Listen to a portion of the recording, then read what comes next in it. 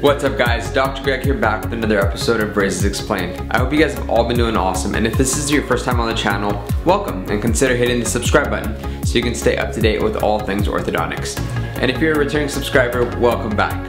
Today what we're going to be talking about is potentially one of the most asked questions I've had on this channel and that is, why do orthodontists extract teeth? So let's go.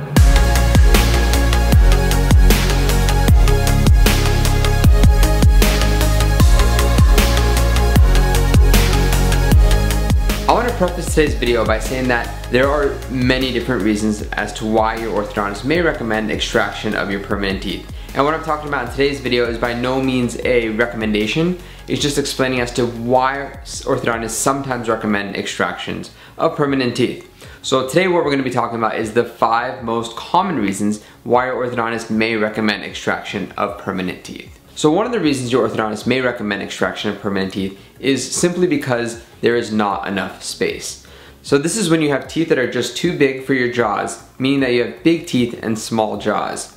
A lot of the times you can see this in your mouth when you start having crowding amongst all the teeth. Certain teeth may not be able to fit into the arch and you might start seeing some teeth overlap with one another. This is one indication for when your orthodontist may recommend extraction of permanent teeth simply because there's not enough room to align all of the teeth. In orthodontics, there's three primary ways we can make space if we have overcrowded teeth. One is by expanding the upper jaw by using an expander, which I'll link out to a video about over here. Sometimes though, you might be too old for this, or you simply may not be able to expand the arches enough to accommodate for all the teeth. Another way we can make space is by proclining the teeth, which means leaning the teeth forward to make it so that there's more room to align the remaining teeth. But in certain cases this may not be ideal because it might make it difficult for your lips to close and this also may be unstable so that you might have a higher chance of relapse. And the third way we can make space is by making room by either one, thinning the teeth, or by two, removal of teeth. When we have so much crowding that these three techniques aren't possible to accommodate the space necessary, your orthodontist may recommend extraction of your permanent teeth to make enough room to line up the remaining teeth. The second reason why your orthodontist may recommend extractions is due to protrusion. Protrusion is the fact that your lower and upper teeth lean too far forward and make it so that your lips look too full and you can't close your lips fully. This can be seen in certain patients when they close their lips.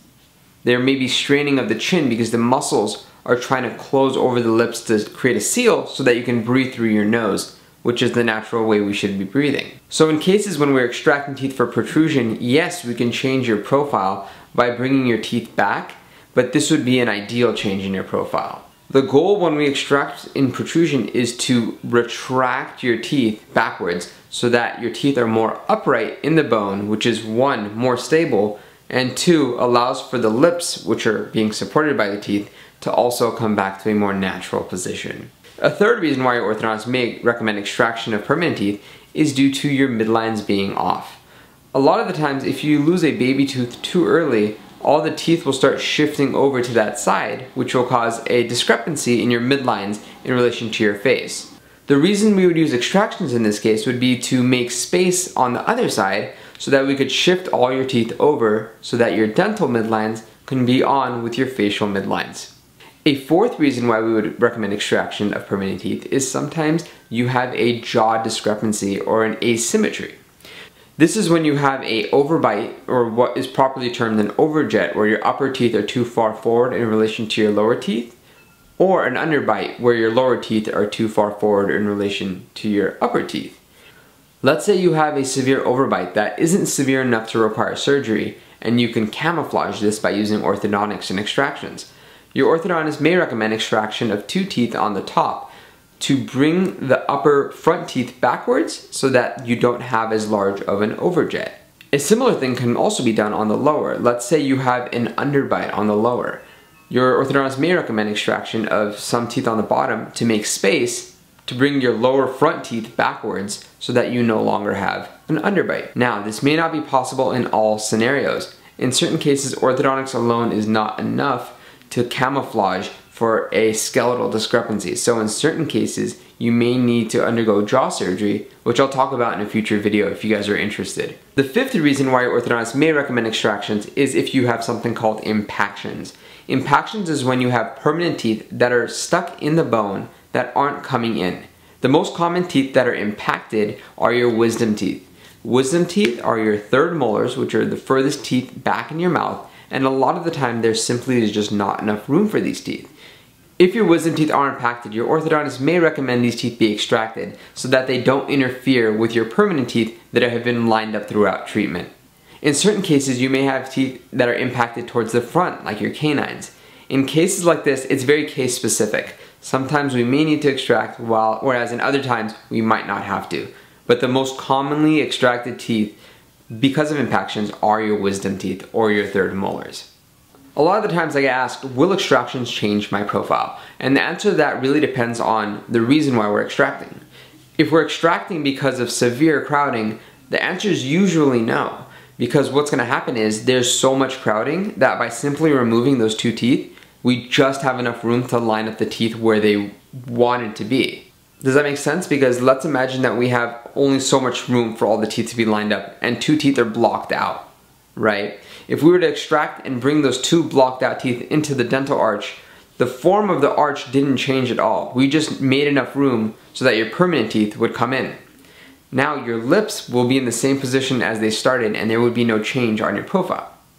But let's say we're extracting for reasons of protrusion or big overbites. In those cases, yes, your profile will be changed, but for the better. Because patients that have very protrusive profiles have very full lips and are unable to close their lips around the teeth. So when we extract in those cases and we bring your front teeth backwards to a more stable position, and you'll have a more favorable profile. So when we extract for orthodontics, a lot of the times we do it to improve your profile, not to make things worse.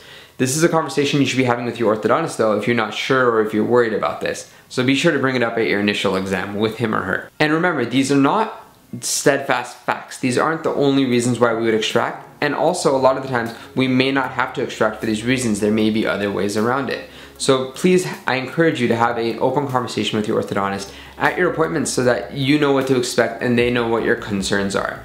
Like I said, there are other reasons why to we extract and other reasons why we don't extract. So this is just a broad blanket statement to help clarify a lot of your concerns that you guys have raised on this channel. If you've had orthodontic extractions, please let me know in the comments below. If you have any other questions that you don't feel as though I answered properly in today's video, or you want me to go into more detail about, please leave them below as well, and be sure to give it a thumbs up if you enjoyed this video. As always, please hit the subscribe button so you can stay up to date with all this content, and follow me on Instagram at Dr. Greg Ortho. That's all I have for you guys today. I hope you enjoyed it. For now, Dr. Greg, out.